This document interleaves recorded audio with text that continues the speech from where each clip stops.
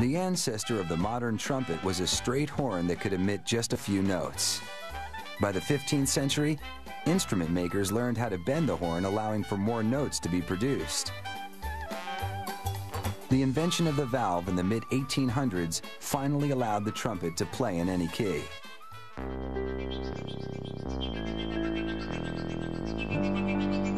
A trumpet is made up of five feet of tubing. Three valves allow air to flow through additional tubing to alter the trumpet's pitch.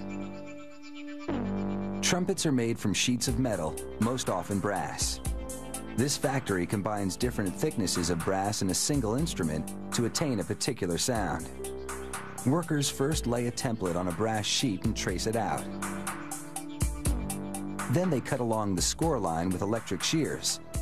This piece will become the trumpet's bell.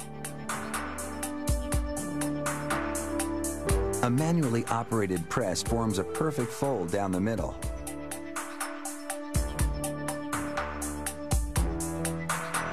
Then they notch the edges.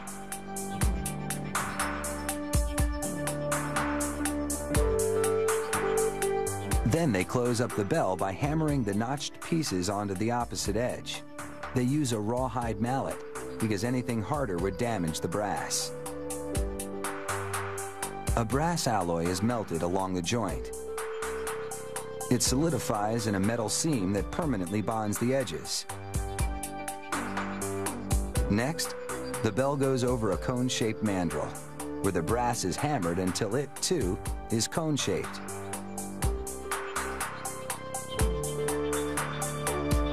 Then the bell goes onto another mandrel mounted on a lathe. Here the brass cone is refined into a more refined shape. Then the metal is filed smooth. Now for the bell's rim, called the bead. A brass rod with a notch at the end catches the edge of the bell and rolls it back into a rim.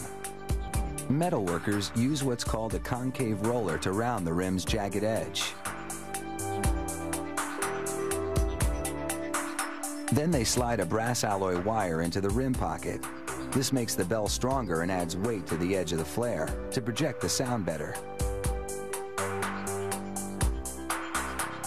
They roll the rim over even more to enclose the wire.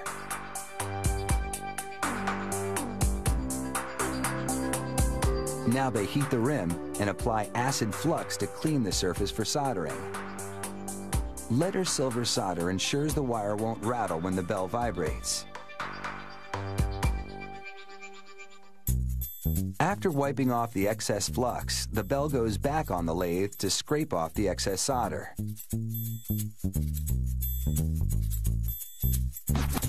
Using an abrasive sponge, workers smooth away any scratches left by the scraper. Then they remove any solder bits trapped in the rim. Now the entire bell is filled with a soapy solution. Then it's frozen at minus 56 degrees. When the solution is frozen, the bell goes into a bending block.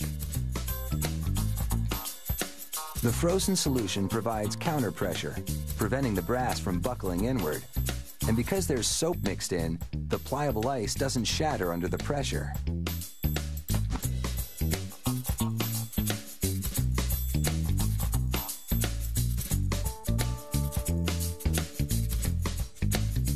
After the angle of the bend is checked with a gauge, the bell is defrosted.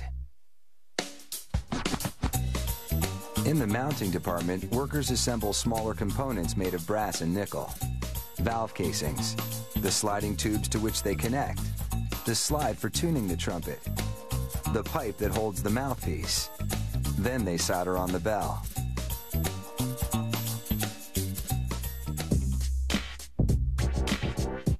They lubricate three pistons and install one in each valve casing.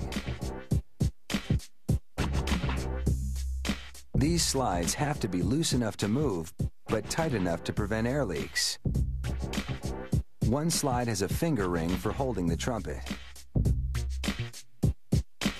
After polishing and lacquering the brass, workers test the trumpet for sound quality.